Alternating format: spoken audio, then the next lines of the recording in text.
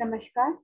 Myself Dr. Deepti Bish, Professor, Department of Kaya Chikitsa, Faculty of Ayurveda Sciences, Jayoti Vidyapeeth, Women's University, Jaipur. Today we are going to start the topic naturopathy, its general principles and benefits of its procedures.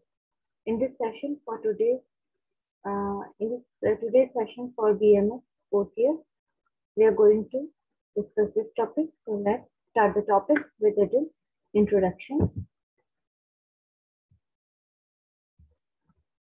As we all know, naturopathy is officially recognized system of medicine in India. It is a system of therapeutics based on natural food, light, warmth, massage, fresh air, regular exercise, and avoidance of medication. The naturopathic physician helps to remove obstacles to cure and employ natural therapies that strengthen and stimulate natural healing process. It believes that diseases are outcome of accumulation of waste products in the body and the cure is elimination of these waste products. So the term naturopathy is derived by the Latin word natura, means nature, and Greek word pathos, means disease. So it advocates that illness can be healed by natural process of the body.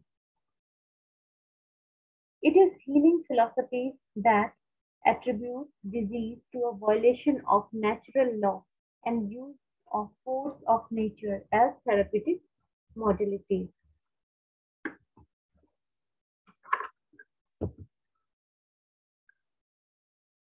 So, during Vedic period, there was a clear concept about medicinal value of water, sun, earth, etc. In Europe, the nature cure movement started during the 19th century and acquired its present name around the turn of the century. Modern nature cure movement was started with hydrotherapy, which was a synonym with nature care in those early days. So, the name of naturopath and their contribution is important. So, a little brief introduction of these naturopaths. First is Dr. Floyer, who was interested in curative power of water. Dr. James Currie, who wrote a book on treatment by water. Dr. Vincent Priessnitz, father of modern naturopathy. Arnold Rikli advocated sun and air treatment. Similarly, Louis Kuhne written two books, New Science of Healing and Science of Facial Expression. Dr. Daniel O. Palmer was founder of chiropractic. The fundamental principles of naturopathy is that according to Indian uh, philosophy, the human body is made up of five Mahabhut, Akash, Vayu, Agni, Jal, and Prithvi. If their equilibrium in the body is maintained, the man remains healthy. The normalcy of these Mahabhuts always undergoes changes because of physio uh, physiological processes going on inside the body and also because of physical as well as mental activities of an individual. The basic principle of nature cure is that all healing powers come from within the body itself. There are numerous self-curative forces inherent in the human body working towards health and healing. The naturopath physician, through his nature cure technique, helps the inner healing forces that make normalcy and ultimately the health. Naturopath believes that diseases are outcome of accumulation of waste products in the body and the cure is the elimination of these products. So, primary cause of disease is waste accumulation in body according to naturopathy. Acute diseases are self-healing efforts of body. Chronic diseases are outcome of suppression of acute diseases and except for traumatic and environmental conditions, the cause and treatment of all disease is one. Similarly, according to naturopathy, nature is the greatest healer. Naturopathy heals all the aspects like physical, mental, social, and spiritual at the same time. Food is the only medicine. No external medications are required at time of treatment. Performing prayer according to one's spiritual faith is an important part of the treatment. Nature's cure is not only the cure of disease, but it cures and cleans the entire body. So these are salient features of naturopathy. Now, aims and objectives are basically are to minimize the risk of harmful side effects while helping the patient to reach their ultimate health goal. The main goal of this medicine is to treat the person as a whole. The primary objectives of naturopathic medicine are prevention of disease and the attainment of optimal health in the patient. These objectives can be achieved through the education and promotion of healthy ways of living. Principles of healing of natural medicine. Naturopathic medicine includes six principles of healing. These principles are based on observation of health and disease using conventional scientific methodology. First one is do not harm. For this principle, naturopathic physicians utilizes methods and medicinal substances which minimize the risk of harmful effects and apply the least possible force or intervention necessary to diagnose illness and restore health. Second principle is healing power of nature. Here, the role of naturopathic physician is to support, facilitate, and augment the healing power of nature by identifying and removing the obstacles to health and recovery by supporting the creation of a healthy internal and external environment. Third principle is identify and treat the cause. That is, we have to seek to treat the cause for disease rather than to merely eliminate or suppress the symptoms. Fourth principle is heal the whole person. Health and disease result from a complex interaction of physical, mental, emotional, genetic, environmental, social, and other factors. So, here, the medicine recognizes the harmonious functioning of all aspects of individual, including the spiritual aspect, which is essential to health. Fifth principle is physician as teacher. The original meaning of word doctor is teacher. Doctor behaves as a teacher to educate the patient and emphasize self-responsibility for health. Last principle is prevention is that is best cure. It emphasizes disease prevention, assessment of risk factors, and hereditary susceptibility to disease and makes appropriate intervention to prevent the illness. So, there are various treatment modalities which are employed in naturopathy. Some of these are hydrotherapy, in which water is used to treat the disease. In naturopathy, Water application are generally given at different temperatures, like in form of ice application, in form of cool tepid water, in form of warm water, and in form of hot water. Effects are taking baths open up all pores of the skin and make the body light and fresh.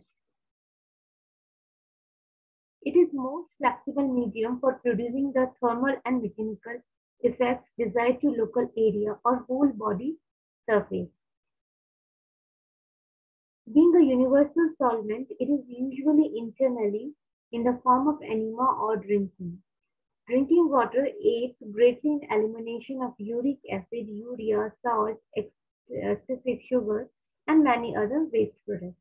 Dairy water intake is essential for smooth functioning of the body. It is best treatment for disorders like indigestion, fever, loss of appetite, dysuria, urolithiasis, etc. So hydrotherapy can be employed in form of full immersion bath, sit bath, hot bath, cold bath, salt bath, etc. Another treatment modality is steam therapy. It is comparable to Nadi Sveda of Ayurveda. The major benefit is that it mobilizes accumulated ama or waste toxin which is accumulated in different body uh, channels and dusting is mainly aimed at sweating to release the toxins from the body. It is performed by different methods such as sitting, standing or lying down positions. It also increases blood circulation and reduces swelling, pain and body stiffness. Another one is mud therapy or mud bath. Very simple and effective treatment Mud used is clean and is taken from 3 to 4 feet depth from the surface of ground, having no contamination of stone pieces or chemical manures, etc. Advantages are it imparts glow and glow to the skin and improve and prevent various skin disorders due to anti-inflammatory effects. It is helpful for healing the wounds and scars, improves blood circulation. It imparts soothing, relaxing, and calming effects. And it is used to relieve the uh, some of the uh, problems like indigestion, constipation, diarrhea, vomiting, eye disorders, skin disorders, headache, and fever. Another modality is air therapy or also known as air bath. Fresh air is most essential for good health. So it has soothing and tonic effect upon millions of nerve endings all over the surface of body. Beneficial effects in cases of uh, rheumatoid arthritis, nervous nervousness, skin and mental and other chronic disorders. Sun bath is also very important for perfect life according to naturopathy. Here, the body part is exposed to sunlight for 5 to 10 minutes, including anterior and posterior aspects in morning and evening hours. Later on, the period of exposure to sun can be gradually increased as per convenience to about an, in an hour. Benefits there are it helps to nourish the muscles, promote uh, proper formation of teeth, bones, growth of hairs, deepen quick sleep, maintains the blood pressure and kidney, destroys bacteria, promotes healing processes, it improves body immunity and enhances longevity. Another is massage therapy. In massage therapy,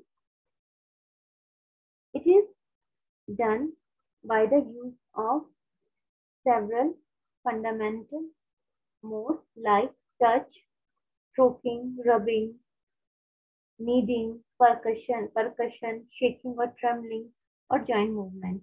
Physiological effects are reflex effects, mechanical effects, like restoration of joint mechanism, elimination of accumulated waste, it increases blood circulation, increases muscle tone, stimulates the vital organs. These all are benefits of massage therapy. In fasting therapy,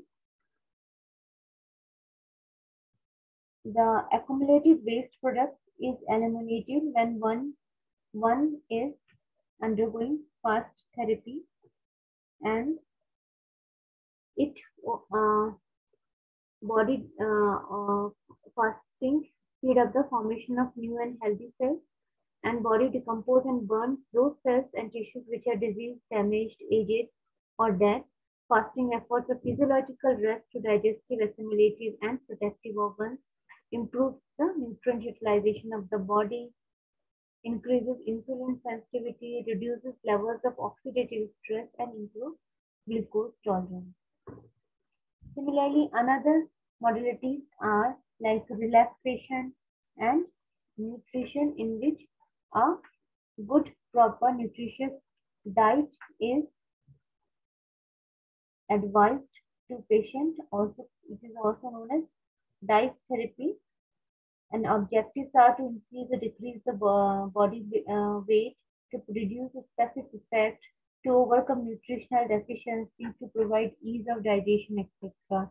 And relaxation is done basically for mental and physical stress Various techniques are employed like uh, pranayam, visualization, yoga, nidra, self-hypnosis, etc. So, through relaxation, one can achieve the benefits like reducing blood pressure, increasing blood flow to muscles, decreasing muscle tension. It helps in inducing sleep, provides more energy, increases concentration, relieves many problems of physical and mental disorders.